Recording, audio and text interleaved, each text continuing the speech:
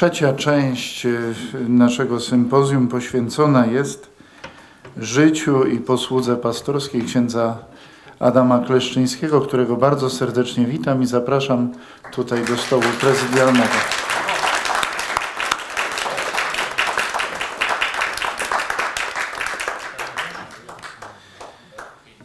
Ksiądz Adam Kleszczyński y, jest postacią bardzo dobrze rozpoznawaną w Łodzi pośród y, duchownych, szczególnie tych, którzy zajmują się ekumenizmem. Bardzo się cieszę, że ksiądz Adam przyjechał do nas z Katowic. Y, pomimo wszystkich przeszkód i obaw, dziękuję za to, że jest z nami. I chciałbym kilka słów o księdzu Adamie powiedzieć, przede wszystkim posługując się taką publikacją Grzegorza Polaka, kto jest kim w Kościele. Żeby się znaleźć w tej publikacji, to trzeba być kimś. Co można powiedzieć o księdzu Adamie Kleszczyńskim? Zacznę od początku, tak jak tu zostało napisane.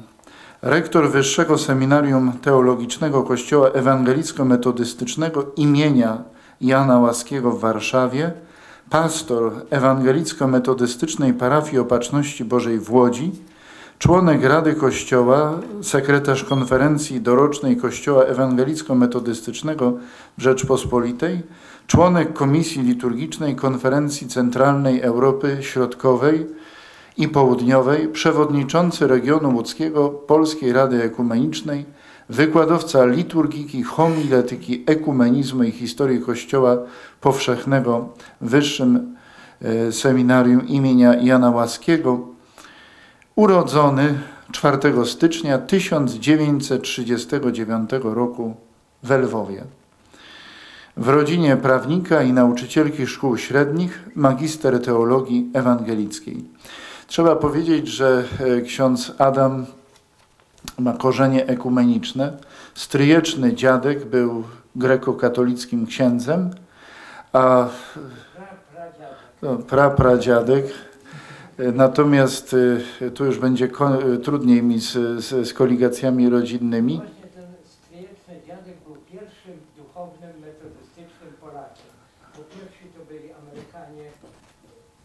Pierwsi to byli Amerykanie i Anglicy, którzy po I wojnie światowej przyjechali do Polski, a właśnie ten mój stryjeczny dziadek był pierwszym Polakiem ordynowanym, czyli wyświęconym na duchownego metodystycznego żonaty. No, reakcja mikrofonu była taka, a nie inna. Tak. E, żonę wszyscy też bardzo dobrze znamy jako pastorową, która angażowała się bardzo aktywnie w działalność ekumeniczną. Ordynacja na prezbitera 2 października 1977 rok w Ostrudzie, ordynowany przez biskupa Franca Szefera z Curychu. Wcześniej studio, studia nauczycielskie z zakresu geografii, Chrześcijańska Akademia Teologiczna w Warszawie, Magisterium z Teologii Ewangelickiej, służba w Kościele. W 1971-73 dyrektor Metodystycznego Domu Dziecka w Konstancinie, 1973-86, pastor w parafii Pokoju Bożego we Wrocławiu, w 1976-83 sekretarz konferencji dorocznej, to jest synodu, od 1977 roku członek Rady Kościoła, 78-96, członek podkomisji dialogu ekumenicznego Polskiej Rady Ekumenicznej i Konferencji Episkopatu Polski do spraw ekumenizmu, lata 1983-1988, superintendent okręgu Pomorza, Wielkopolski i Mazowsza oraz konsultant kościelny pielgrzyma polskiego. 1983-89 zastępca superintendenta naczelnego Kościoła Ewangelicko-Metodystycznego w Polsce. Od 1983 rektor Wyższego Seminarium Teologicznego Jana Łaskiego w Warszawie. Następnie lata 86-88 pastor w parafii Warszawa-Praga 8796, sekretarz Komisji Mieszanej Polskiej Rady Ekumenicznej i Komisji Episkopatu Polski do spraw ekumenizmu. 8891, pastor w parafii Dobrego Pasterza w Warszawie. 8895, redaktor naczelny Pielgrzyma Polskiego. 1991-96, przewodniczący Komisji Radiowej Polskiej Rady Ekumenicznej lata 1993-96, duszpasterz placówki kościelnej w Lublinie, od 1995 roku sekretarz konferencji dorocznej, od 1996 roku pastor w parafii Opatrzności Bożej w Łodzi oraz redaktor działu liturgicznego Pielgrzyma Polskiego. Ponadto przewodniczący Komisji Liturgicznej i Komisji Radiowej Kościoła Ewangelicko-Metodystycznego, członek Komisji Kwalifikacji i Święceń Pastorskich, Rady Wykształcenia Pastorskiego oraz Komisji Prawnej. Publikacje. Metodyści w, ku chrześcijaństwu jutra, wprowadzenie do ekumenizmu, siła po, poselstwa, artykuły w Pielgrzymie Polskim, jednocie, studiach i dokumentach ekumenicznych, biuletynie ekumenicznym Credo w drodze. Ulubione lektury, opracowanie dziejów chrześcijaństwa, pozycje hagiograficzne. Dewiza życiowa, ulubiona sentencja księdza Adama. Czyżby dlatego, że nie myślimy jednakowo, nie jest możliwe, abyśmy jednakowo kochali? Niech każdy pozostanie przy swoim zdaniu, jednego tylko chcę, podaj mi rękę. Skazania Wesleya, duch tolerancji. Hobby, ulubione zajęcia. Turystyka górska jest przewodnikiem turystycznym, górskim i terenowo-nizinnym, instruktorem przewodnictwa beskidzkiego, yy, przewodnikiem pływa, muzyka poważna, zwłaszcza religijna, muzyka ludowa krajów Europy Środkowej i Wschodniej, zwiedzanie zabytków sakralnych, ochrona przyrody. No, to jest tyle, ile można wyczytać w książce Grzegorza Polaka, kto jest kim w kościele. Parafia łódzka.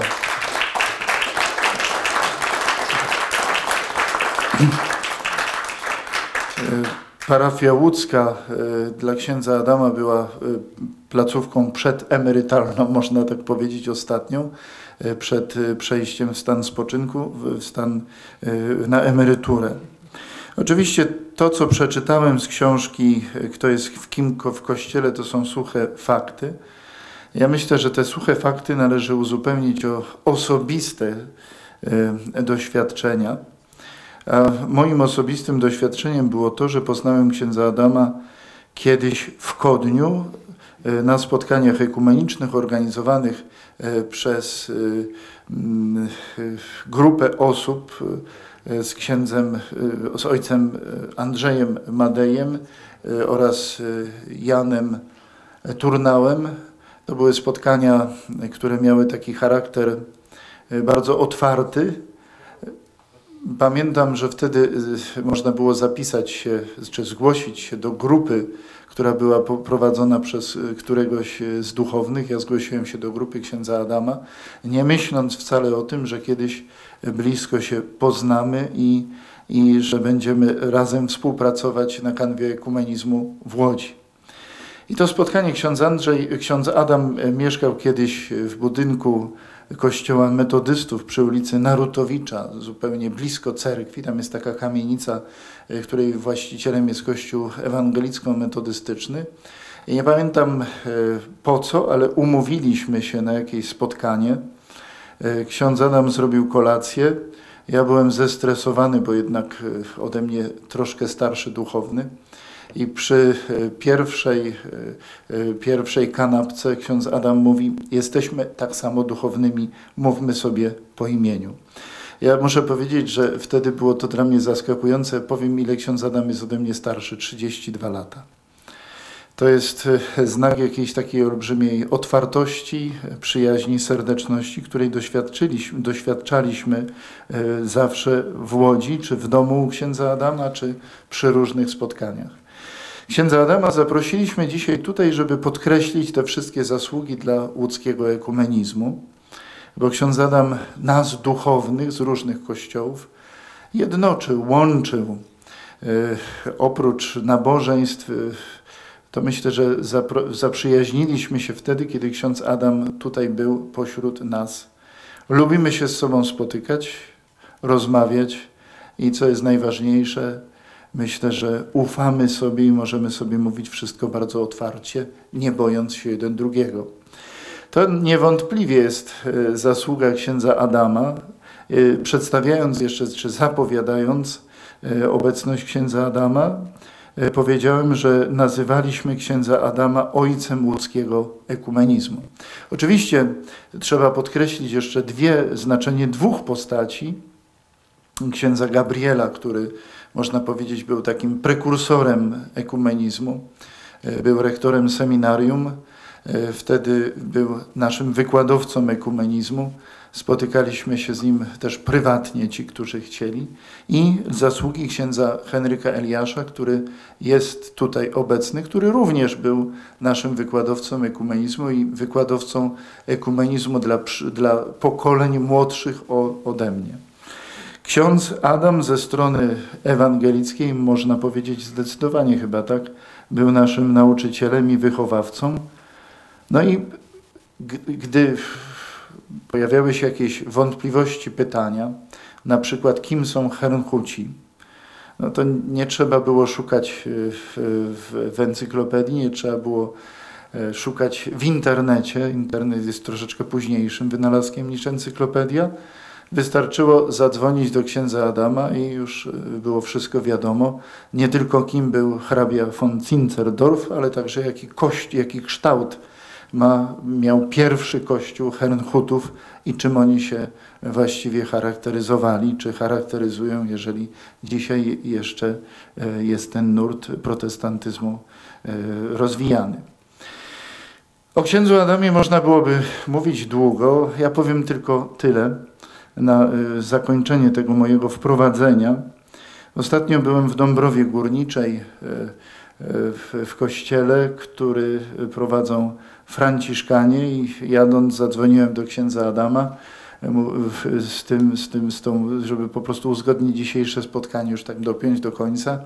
I mówię, że jadę z Dąbrowy Górniczej, czyli troszeczkę z twojego rejonu. A w którym kościele byłeś? No mówię, u Franciszkanów. A, na Gołonogu. To jest charakterystyka księdza Adama jako przewodnika. Gołonóg pojęcia nie miałem, że taki fragment y, miasta jest tak nazywany. A no, ksiądz Adam wytłumaczył, tam był taki pustelnik, który chodził na boso i e, kiedyś wybudowano tam kościół i ten, tą dzielnicę do dzisiaj nazywa się na jego cześć Gołonogiem. Ksiądz Adam nie tylko jest specem od Śląska, e, ale myślę, mogę z pewnością powiedzieć, że od y, różnych regionów Polski i Słowacji.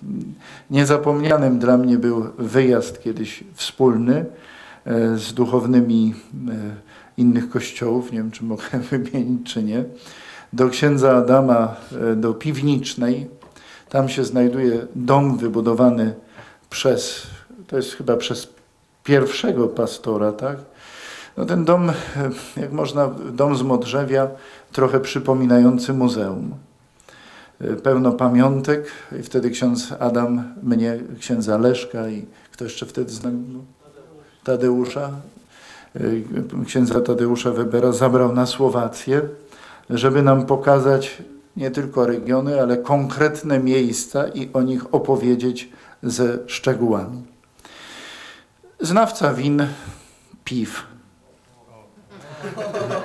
jeżeli ktoś chce zapytać, które, które są dobre, gdzie można je kupić, no to ksiądz Adam na pewno doskonale, doskonale e, udzieli e, wszelkich podpowiedzi. Co można na koniec? No na koniec trzeba powiedzieć chyba jeszcze to, że ksiądz Adam jest, może od tego trzeba było zacząć, człowiekiem głębokiej wiary i świadkiem pokornej służby duchownego w Kościele. nigdy się nie wynosił, myślę, że nad żadnego z nas, ani nad nikogo ze zboru. I zawsze, kiedy mówił kazania, te kazania zapadają w pamięć, podkreślał to, że najważniejsza jest miłość bliźniego, służba, stawianie bliźniego na pierwszym miejscu. Drogi Adamie, cieszę się, że jesteś. Jest to dla mnie bardzo wzruszające. I myślę, że nie tylko dla mnie. I dzisiaj nie chcę, żeby to ten benefis, bo tak nazwaliśmy to spotkanie na Twoją cześć, było pożegnaniem z Łodzią, ale chcę, żeby to był taki dzień, w którym Twoje zasługi wychodzą na wierzch jak oliwa. Żebyśmy mogli Tobie podziękować, opowiedzieć o człowieku, który dla nas wszystkich jest bardzo ważny i podziękować Tobie za to, że jesteś dla nas ciągle przyjacielem, bratem, nauczycielem i człowiekiem, który może być dla nas wielu pod każdym względem wzorem. Amen.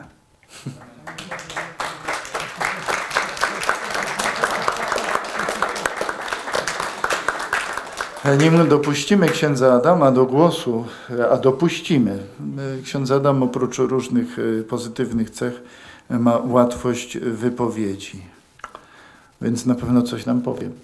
Ale chciałbym jeszcze otworzyć e, listę tych, którzy chcieliby coś powiedzieć. Może księdza Henryka bym poprosił, e, moich kolegów duchownych, przyjaciół z innych kościołów chrześcijańskich niż katolicki, ale z naszej wspólnej rodziny, przyjaciół. Otwarty głos.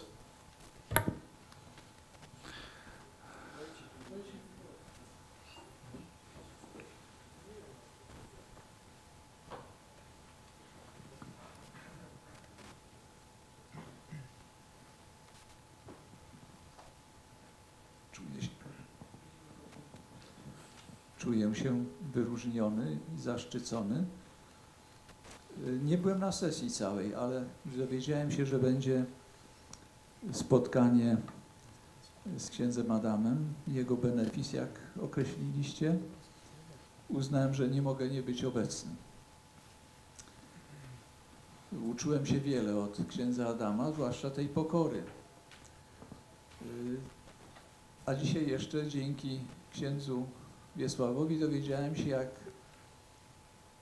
wielkim był duchownym, nie tylko w swoim kościele, ale w świecie ekumenicznym i w ogóle w naszym, w naszym braterstwie takim wspólnotowym, ekumenicznym. Wyróżniał mnie swoją życzliwością, zapraszał ze Słowem Bożym i z różną posługą cieszyłem się, że ja mogłem go gościć wśród nas. I dobrze, że żyjemy wśród takich ludzi, bo, bo uczy nas to właściwych postaw. E, no, nas księży przede wszystkim, ale także i każdego chrześcijanina. E, miłość i służba.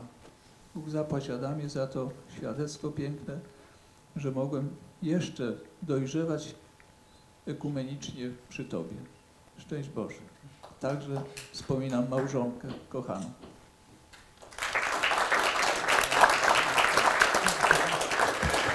Małżonkę kochaną trzeba wspomnieć chociażby z tego względu, e, że ksiądz Adam oprócz wielu sukcesów, e, jednego sukcesu nie osiągnął, nie zrobił prawa jazdy. Więc y, małżonka y, służyła nie tylko jako pomoc y, i obrona, ale także jako kierowca. Natomiast ci, którzy jechali z księdzem Adamem, na pewno wiedzą to, że na wszystkich rejestracjach się zna. Zapraszam. Semko, chodź tutaj.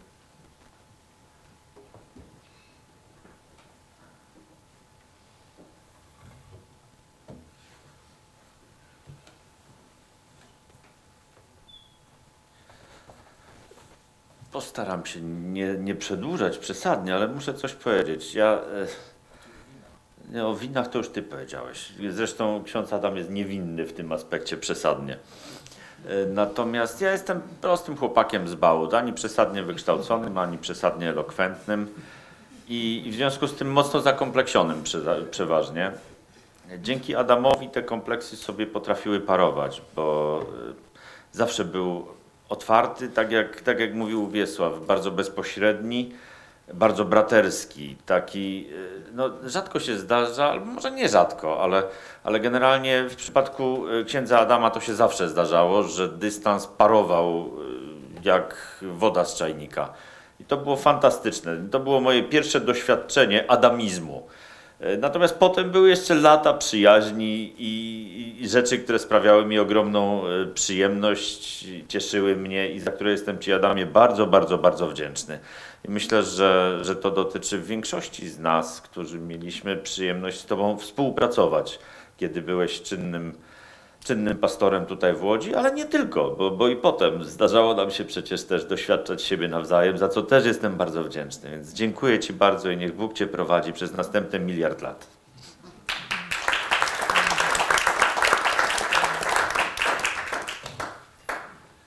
Ksiądz Tadeusz Weber, który też ma, myślę, osobiste spotkanie, doświadczenia przyjaźni.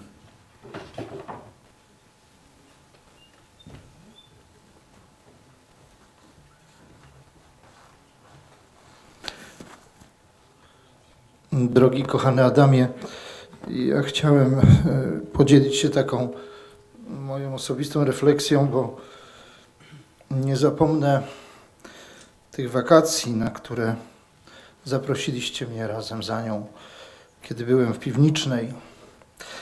A to było akurat niedługo po śmierci mojego taty.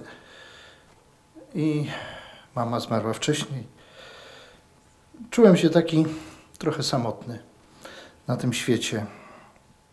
W tym momencie te niezapomniane, chyba nawet dwa tygodnie w piwnicznej, w tych pięknych okolicznościach przyrody, w tym domu, o którym wspomniał właśnie ksiądz Wiesław, czułem się troszkę jakbym był waszym synem. I nie zapomnę tego a właśnie, jeszcze chciałem tylko dodać, że urodziłem się dokładnie 20 lat po księdzu Adamie w tym samym dniu, 4 stycznia, tylko 20 lat później. Adamie, za Twoją wielką przyjaźń, za serce, za Wasze serce chciałem serdecznie podziękować. Dzięki serdeczne. Bóg zapłać.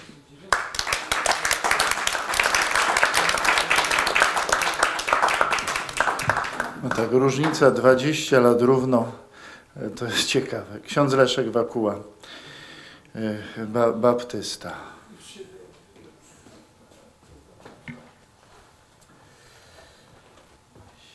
Ja tak zaraz po, po księdzu Tadeuszu, też tak blisko.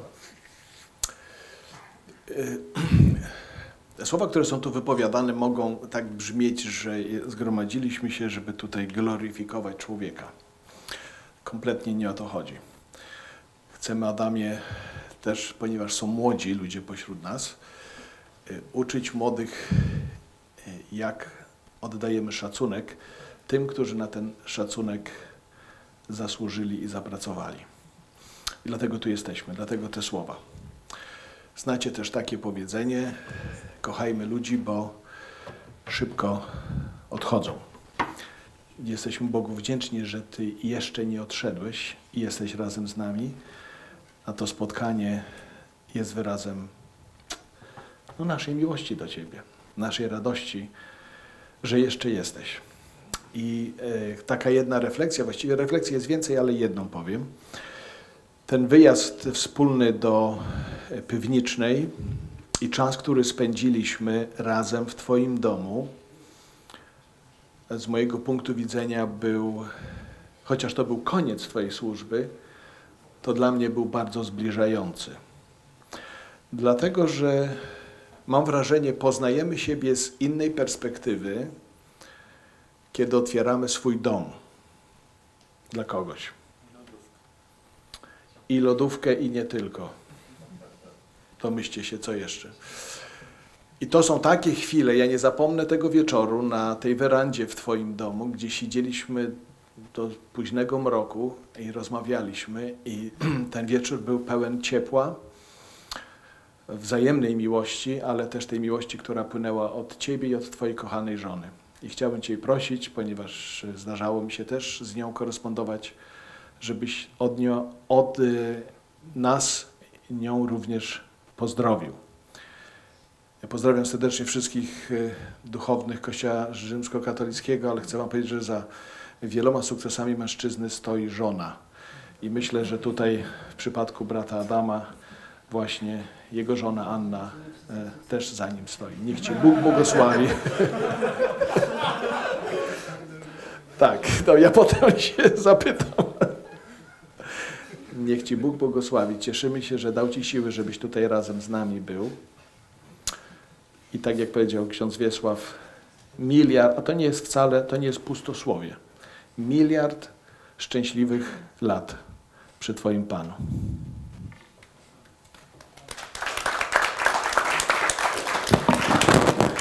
Żonę księdza Adama chcieliśmy też zaprosić, ale e, niestety jest troszeczkę w słabej kondycji po upadku i nie mogła przyjechać, ale bardzo prosimy Ciebie Adamie, żebyś to wszystko przekazał, nawet nieco ubarwiając. Może e, Leszek...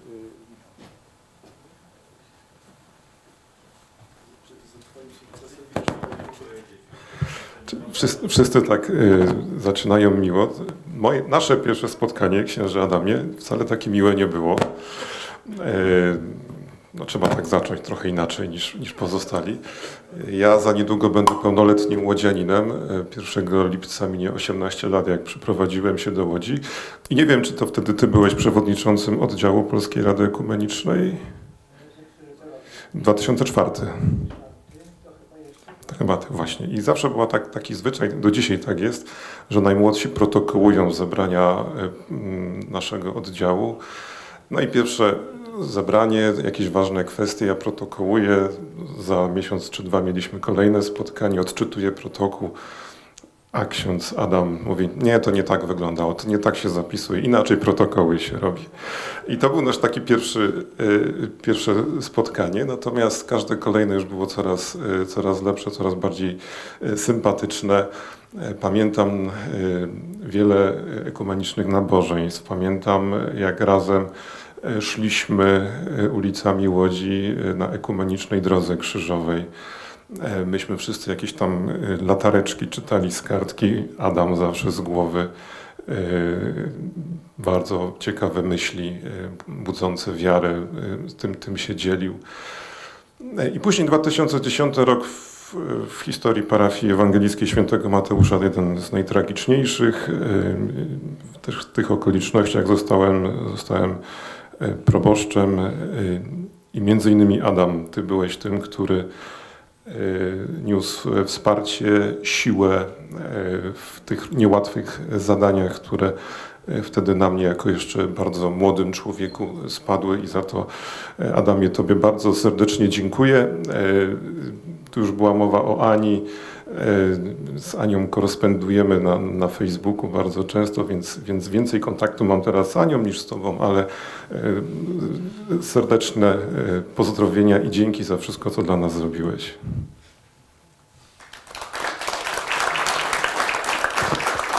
Tak, o księdzu Michale można powiedzieć, że się pięknie starzeje, 18 lat w Łodzi. Ksiądz Wawrzyniec, następca Adama, Markowski, tak, dobrze zapamiętam nazwisko twoje.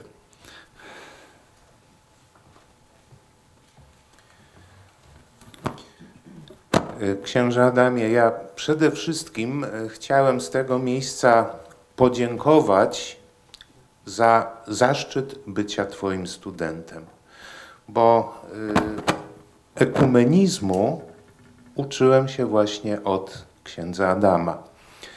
Y, pochodzę z Przemyśla, które to miejsce, jak pewnie wiecie, choćby ze względu na pamiętną wizytę papieża Jana Pawła II, który chyba niespecjalnie do tego Przemyśla chciał się udawać, ale udać się musiał, żeby złagodzić istniejące tam napięcia ja pochodzę właśnie z tego miasta. I y, ekumenicznie do dziś jest to trudny teren. I z takiego terenu przyjechałem na zajęcia w seminarium jako bardzo młody chłopak. No i właśnie tam spotkałem księdza Adama, który tego ekumenizmu, myślę, na tyle skutecznie mnie uczył, że y, później y, starałem się tak jak mogłem, jak potrafiłem, angażować się w te ekumeniczne działania y, we wszystkich tych parafiach, gdzie pełniłem służbę.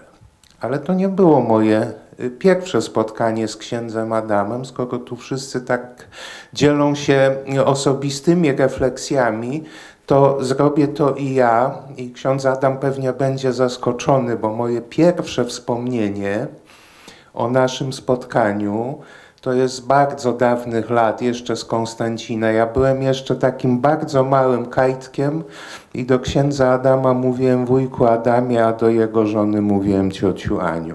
I ja to jeszcze pamiętam, księże Adamie, i za te wszystkie wspomnienia, i te seminaryjne, i te wcześniejsze, jestem Ci bardzo, bardzo wdzięczny. I cóż, no, Pozostaje mi dołączyć się do tych życzeń miliarda lat, które tu padały i jeszcze wielu takich miłych chwil, jak y, dziś tutaj mamy z Tobą. Oby Pan Bóg obdarzał Cię zdrowiem i siłami, abyś mógł tu do nas do Łodzi przyjeżdżać.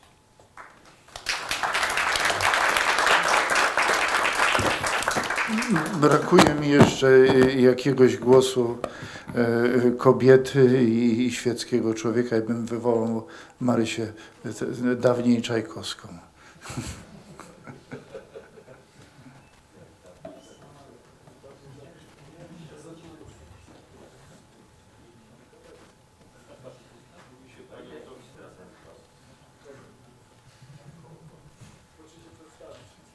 Wciąż Czajkowską, ale mam dwa nazwiska teraz, Czajkowska-Białkowska, jak już mam tak powiedzieć. To jest, tak mogę mówić? O tak, nie dotknę już. To jest taki y, moment, w którym ksiądz Wiesław mnie zaskoczył, nie pierwszy raz w życiu i pewnie nie ostatni, ale przyznaję, że chwilę temu siedziałam i myślałam sobie, że ci wszyscy mądrzy moi przyjaciele przychodzą tutaj, mówią, mówią mądre, ważne rzeczy, z którymi ja się całkowicie zgadzam. Mm. I myślałam sobie, co ja bym chciała dopowiedzieć, więc nie będę powtarzała. Y, nie pamiętam pierwszego spotkania, było na jednym z wielu spotkań ekumenicznych, ale to, co zawsze było dla mnie chyba najważniejsze, księże Adamie, to księdza słowo. Przepiękny język, przepiękna, wzorcowa retoryka, sposób głoszenia prawdy i Ewangelii w taki sposób, że on po prostu zostawał na długo w sercach. I ja chciałam powiedzieć, że y, to są takie słowa, które się zapamiętuje i takie spotkania, które się zapamiętuje. Y, od ciepłego, prawdziwego człowieka, który żyje Ewangelią. Bardzo serdecznie dziękuję.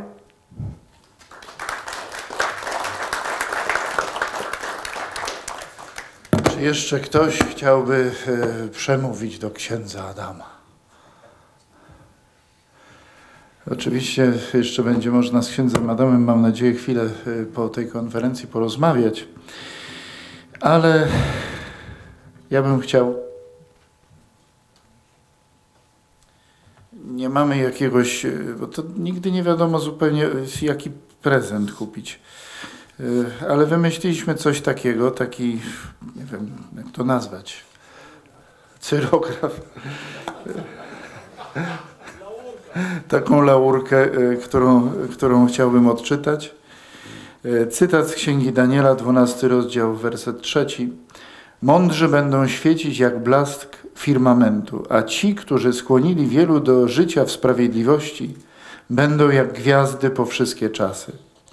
Wielce szanownemu księdzu Adamowi Kleszczyńskiemu, wieloletniemu duszpasterzowi parafii ewangelicko-metodystycznej w Łodzi, świadkowi wiary chrześcijańskiej, człowiekowi mądremu, życzliwemu i wrażliwemu na cierpienia i troski bliźnich, ojcu i nauczycielowi dialogu ekumenicznego, bratu i przyjacielowi w uznaniu zasług i podziękowaniu z najlepszymi życzeniami i modlitwą bracia i przyjaciele.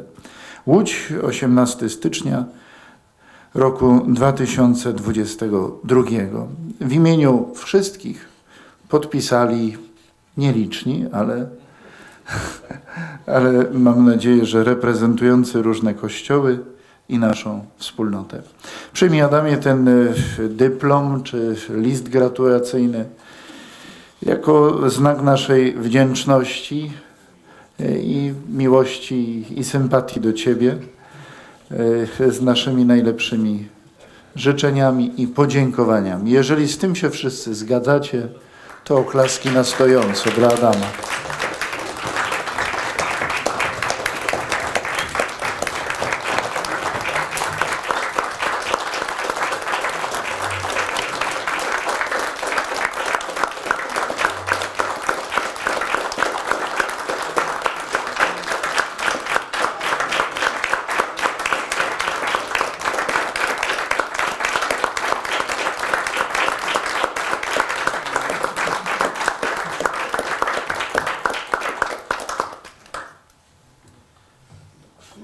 Zaśpiewamy 100 lat na koniec, jeszcze oczywiście trzeba dać głos księdzu Adamowi.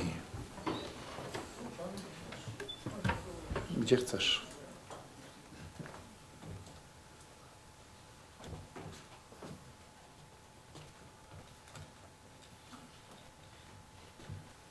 To nie jest pastorał. To jest laska pastorska, pastora w czasie spoczynku, na szczęście jeszcze nie wiecznego. E,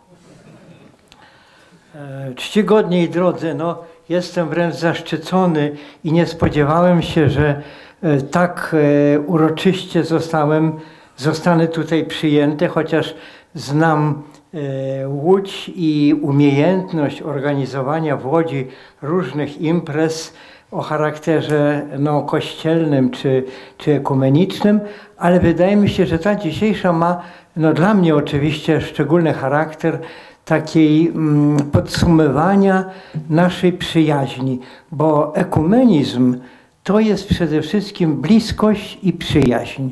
Można e, budować ekumenizm na e, teologicznych przesłankach, można prowadzić wiele dialogów e, i te dialogi kościelne są potrzebne, ale przede wszystkim trzeba się wzajemnie poznać, pokochać i być razem po prostu.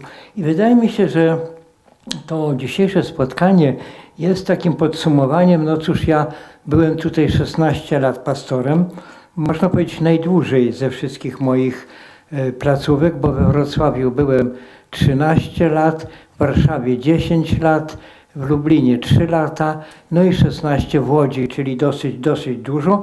I to były lata już ostatnie mojej posługi pastorskiej. No i może dlatego najlepiej je pamiętam. Oczywiście każde z tych środowisk miało zupełnie inne, inny charakter. Wrocław no to byli ludzie przeważnie ze wschodu. Tam chodziłem do takiego brata jednego, bracie, niech brat kąsa. No i brat kąsał, to znaczy trzeba było zjeść tam chleb ze smalcem. Braciuniu, niech brat kąsa. No to kąsałem. Em, Warszawa, Praga, bardzo sympatyczna, aczkolwiek trochę niebezpieczna. Tam raz luterko, e, lusterko ze samochodu mi zerwali, ale ogólnie bardzo fajny zbór, nieduży na Pradze. No potem zbór centralny przy Placu Zbawiciela, ten zbór, który ma być zborem sztandarowym w kościele, ale ja się tam wyjątkowo źle czułem. E, Warszawa mi nie odpowiada. Lublin, bardzo sympatyczne kontakty z Kulem. Byłem z profesorem Napiórkowskim, Hryniewiczem, zmarłym już. E, No ale to były takie z dojazdu. Mieszkałem w Warszawie i usługiwałem Lublin. Po drodze zawsze zaglądaliśmy do Wąwolnicy, do Nałęczowa, do Puław. No i przy okazji takie mm, wycieczki krajoznawcze robiliśmy. No i wreszcie wylądowałem w Łodzi, tak dosyć przypadkowo, bo już e, w Warszawie nie byłem pastorem, e, byłem rektorem seminarium, byłem redaktorem pielgrzyma. No i tutaj w Łodzi ksiądz Konieczny mocno zaniemógł w 1995 roku. I pamiętam pierwsze moje nabożeństwo w Łodzi, to było właśnie nabożeństwo ekumeniczne. Ksiądz konieczny miał je prowadzić i zadzwonił, że nie jest w stanie i prosi mnie, żebym przyjechał. No to przyjechałem. Było ekumeniczne, bo baptysta grał na organach, brat Ber grał na organach. Yy, Nie pamiętam, kto miał kazanie. W każdym razie ja to nabożeństwo prowadziłem i ten właśnie ekumeniczny motyw wprowadził mnie do Łodzi. Mm, Przez cały rok y, 95 do 96 dojeżdżałem z Warszawy, mieszkając w Warszawie dojeżdżałem do Łodzi, no i w 96 już sprowadziłem się do Łodzi i do 2012 byłem. Łódź wspominam bardzo miło, bardzo serdecznie, zwłaszcza prostytutki spod cerkwi. Tak, tak. Mm, Miałem taki pogrzeb. Matka jednej z dziewczyn, które do nas chodziły do, do zboru, ale to tak nie była metodystką, zmarła, no i była z tej branży. E, Poproszono mnie o prowadzenie pogrzebu. No proszę bardzo, pogrzeb mogę każdego poprowadzić. Wszystkie prostytutki spod dworca fabrycznego i spod e, MDK-u i spod cerkwi, to są te miejsca, nie wiem czy jeszcze aktualne, były na pogrzebie. I potem, kiedy z psem wychodziłem na spacer do parku Moniuszki, co chwilę każda z prostytutek myślała, proszę księdza, takiego pięknego pogrzebu myśmy w życiu nie widzieli. Ja mówię, dobra, to was też pogrzebie. Tak. Także tak, tak, tak to było, tak to było. Yy, No to środowisko łódzkie właśnie, ponieważ mieszkałem prawie przy dworcu fabrycznym, no więc taki, taki element również można powiedzieć ekumeniczny, ale prostytutka to też człowiek, to też człowiek. I właśnie czasem trzeba pomóc, trzeba porozmawiać. Nawet przyznam się, że czasem w nocy, koło północy nosiłem im herbatę w termosie, tym stojącym, zziębniętym pod cerkwią. Myślę, że to jest.